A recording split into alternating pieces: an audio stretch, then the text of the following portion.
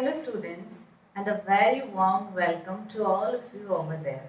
My name is Ms. Mosmi Pengu. I am currently working as an assistant teacher in Khudra Dintingi Muktab LP under Putnamari block. So students, today I am going to discuss lesson number 6 of English, Village Life. ছাত্ৰ ছাত্ৰীসকল আজি মই তোমালোকৰ লগত পাঠ নং ছয় ইংৰাজীৰ ভিলেজ লাইফ মানে গাঁৱলীয়া জীৱনৰ বিষয়ে আলোচনা কৰিম।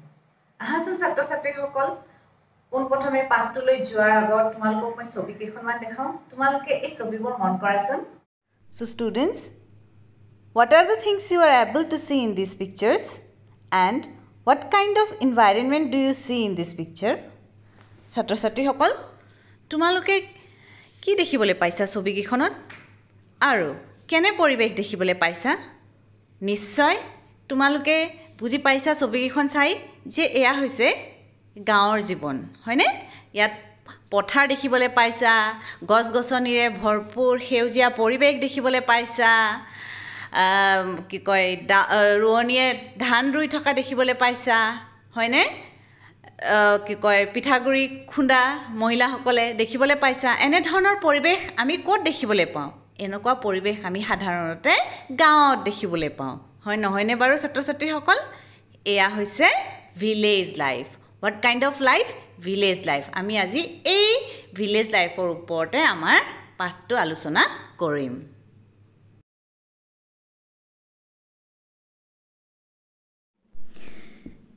So dear students, now I'm to read out the lesson.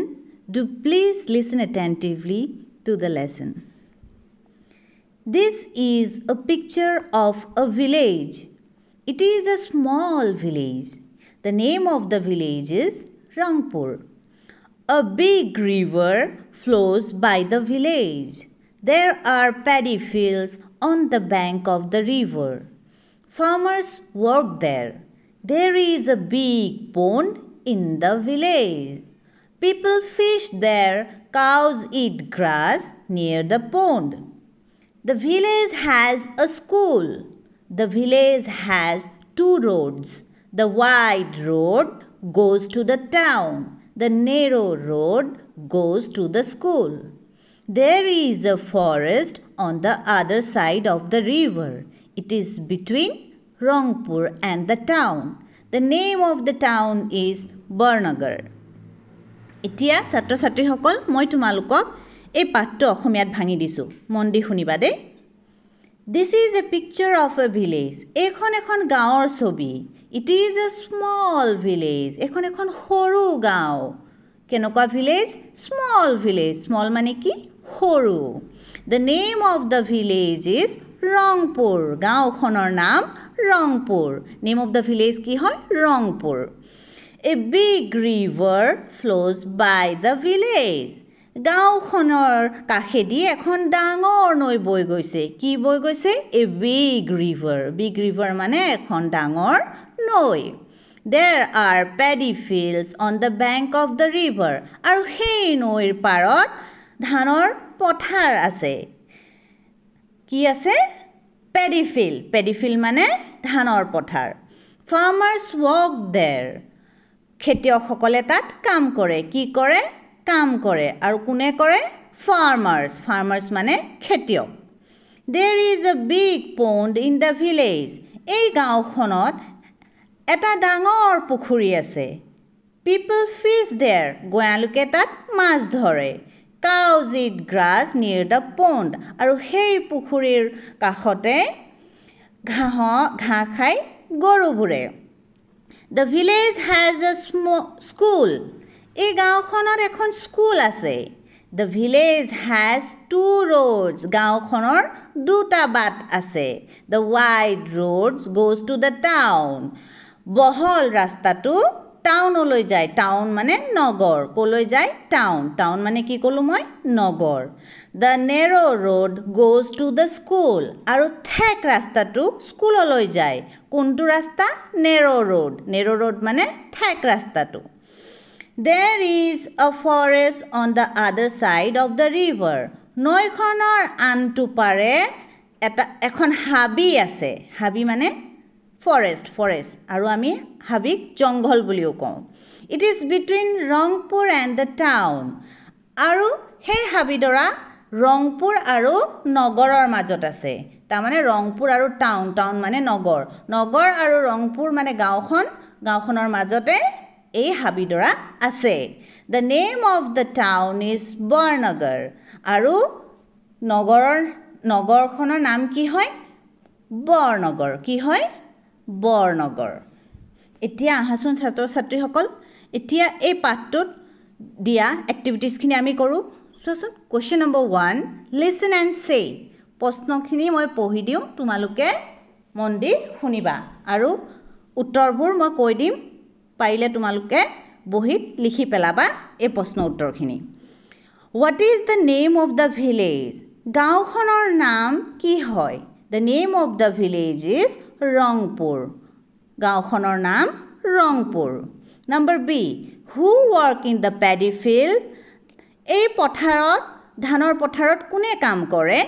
Farmers work in the paddy fields কোনে কাম কৰে? খেতিয়কসকলে।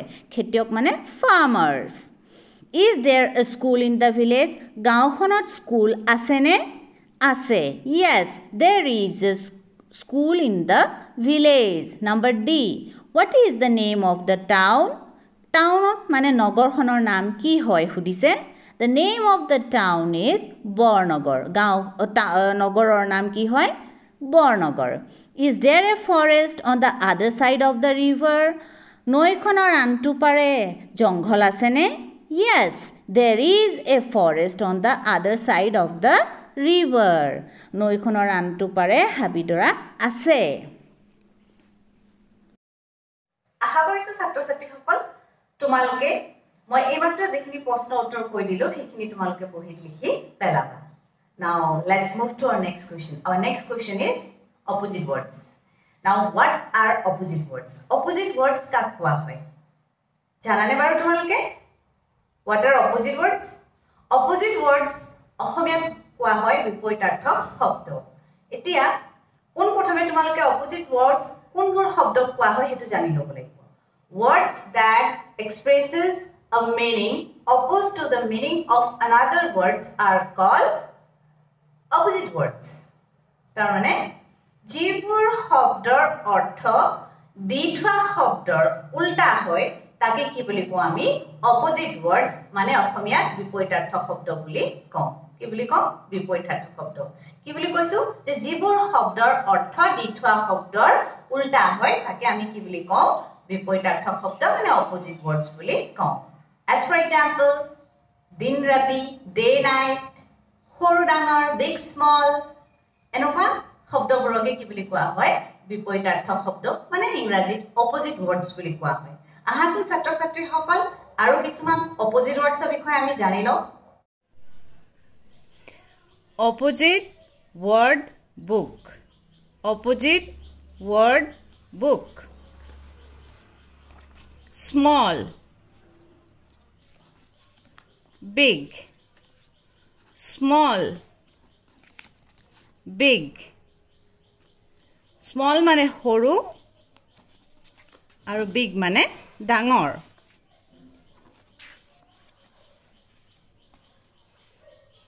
Short tall short tall short মানে চাপৰ তল মানে ওখ।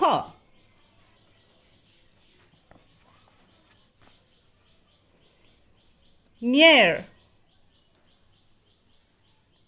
far near far near মানে ওচৰ ফাৰ মানে দূৰ।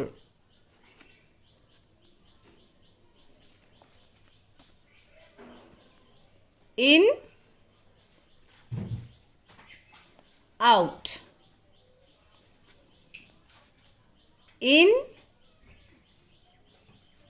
out. In মানে ভিতৰ out মানে বাহিৰ।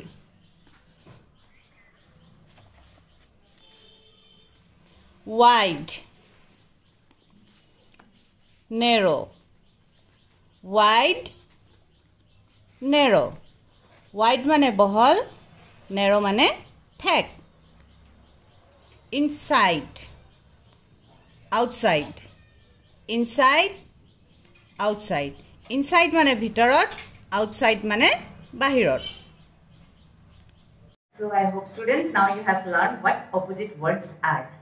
শব্দ কাক হয় নিশ্চয় পাইছা। নহয়নে বাৰু ছাত্ৰ ছাত্ৰীসকল ইয়াতে মই তোমালোকক এটা হোমৱৰ্ক দিছোঁ। এই যে মই তোমালোকক অপজিট ৱৰ্ড বুকখন দেখালোঁ তেনেকুৱা একো একোখন অপজিট ৱৰ্ড বুক তোমালোকে বনাবা আৰু মোক দেখাবা। আৰু আজি আমাৰ ক্লাছৰ ছেশ্যনটো ইয়াতে সামৰণি মাৰিছোঁ। থেংক ইউ আৰু লগতে যিহেতু এতিয়া কৰোণা মহামাৰীৰ পেণ্ডেমিক চলি আছে তোমালোকে ঘৰৰ ভিতৰতে থাকিবা be safe thank you bye bye take care